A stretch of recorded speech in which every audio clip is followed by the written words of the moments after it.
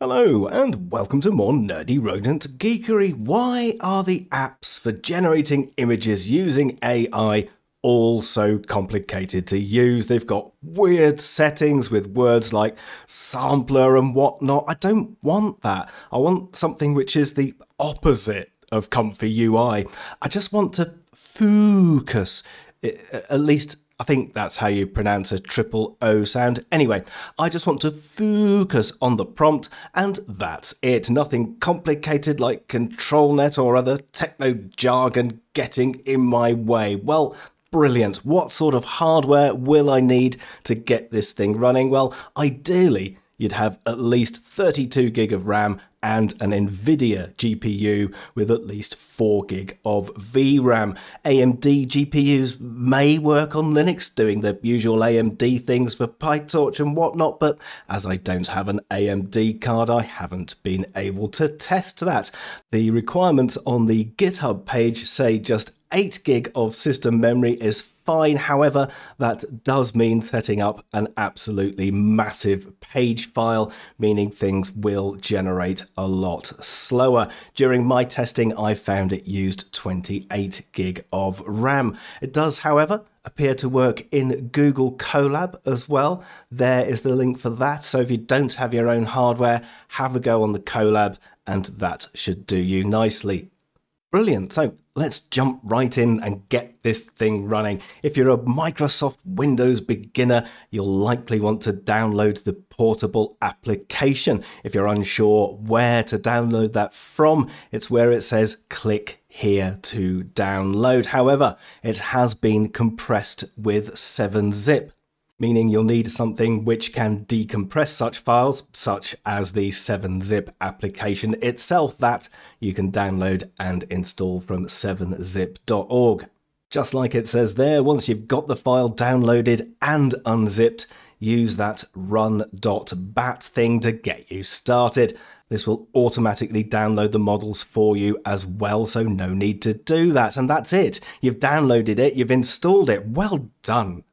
On the other hand, should you prefer to just do a normal installation using Anaconda, which I'm sure you'll already have installed, if not, pop over to anaconda.com, download and install that, then you can crack open your Anaconda terminal and copy and paste the commands from the GitHub page there in the order given. If, like me, you've already got it installed, then you only need a couple of those commands. You can just cd Fooocus and then conda activate fooocus. Let's copy and paste that one in as well. There we go. And now I've CD'd into the directory and activated it, ready to start. Remember, if you haven't already got it installed, you'll need to copy and paste those in one by one in the order shown. then you can just start the app with python launch.py, and there it is. It will automatically pop open a new browser tab, and you've got your application up and running. As a side note, for either installation option, should you already have the SDXL models downloaded, you can simply link them into the Fooocus directory. There it is, so Fooocus models, checkpoints, and I've just created links for the base and the refiner in there. Okay, let's take a look at this UI. They're nice and simple, just a prompt and a generate button. There's, there's, also something scary down there which says advanced, but don't worry, we'll take a look at that in just a moment. Well, now all you need to do is type your prompt and then press generate. So there is my prompt and I click generate. It says there, processing text encoder. So it's going to go through this and it will give me an image which is a little bit blurry to start with, but eventually becomes clear. Whoa, you've done it! You're now a professional AI artist and can sell your images for millions! But do you want to turbo boost your creations right up into the stratosphere? Well, it's time to click that advanced box. I know this is meant to be a simple application and it's got an advanced box and that always seems a bit confusing, but never mind. Advanced, there we go. So we've got a number of tabs here. We've got setting, which has loads of options in there, style, which has even more options in there, and an advanced, advanced box for the Giga Chad brains. But I'm getting ahead of myself here, so let's go back to these settings and see what we've got in here. We've got performance, speed, and quality. We've got some aspect ratios, number of images to generate, a random seed, and a negative prompt if you want one as well. Changing the quality will basically up the number of steps from 30 to 60 in total, so quality will take twice as long to render as speed. All the other options in here should seem fairly obvious. As with the style tab again you can just read and see what the style is. So there we've got a photographic style or a pixel art style or a real estate advert because that's a brilliant style to choose the advanced advanced section has bits where you can change the model. There you've got a base model, a different refiner if you want, also LoRA's, and you've got an advanced advanced advanced section which also has sampling sharpness. So then you know we've got three depth levels of advanced here. This is this is too complex now. So let, let's go back to the settings and we'll just change some of these and and see what happens.